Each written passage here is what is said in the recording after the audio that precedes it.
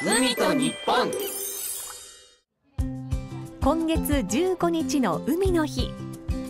スポゴミ甲子園に参加するため多くの高校生たちが集まってきました。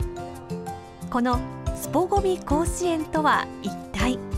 海洋ゴミが今とても問題になってますけどその海洋ゴミがとにかく出てるのが、まあ、陸であってそれが川を伝って、まあ、海に流れていくっていうことでそういう意味でも、まあ、高校生が関心を持って高校生チーム戦でで優勝したチームが東京で、えー、まあ言えば日本一を決めるっていうような大会になってます。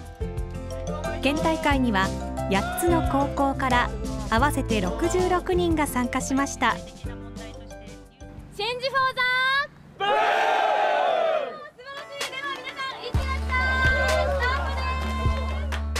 3人1組で制限時間内に拾ったゴミの質と量を競うのが今大会のルール。高校生たちは小さなゴミも見逃さないよう協力して拾っていましたはい結構燃えるゴミが落ちた袋ビニール袋、うん、ペットボトルもしたねタバコがベンチの下が多くてで缶もベンチの下が多くて、まあ、公園のベンチの下が多い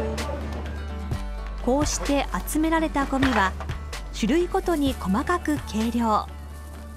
その量は全部で54キロに上りましたそして一番多くのゴミを拾ったのがアミューズの皆さんです。おめでとうございます。弓道部のメンバーで結成した黎明高校のアミューズが6.76キロのゴミを拾い優勝しました。自分の町でも拾わないとなっていう意識が生まれたのですごいいい経験にもなったしすごい楽しかったです。優勝したアミューズは9月に東京で開催されるスポゴミ甲子園の全国大会に出場します。東京でもいい結果が残せるように頑張ります。優勝するぞ。海と日本プロジェクト in 鹿児島は